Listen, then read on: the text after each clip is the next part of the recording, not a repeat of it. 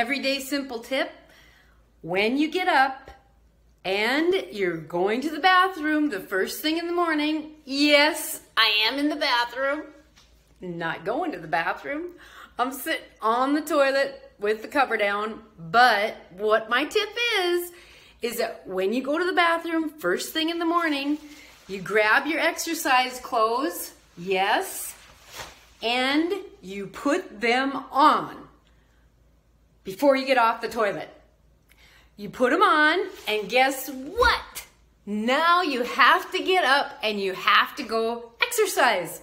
That has been my tip for success in exercising every single day, Monday through Friday, for at least 20 to 30 minutes for many, many years. Put your exercise clothes on while you're sitting on the toilet the first thing in the morning. Everyday simple tip.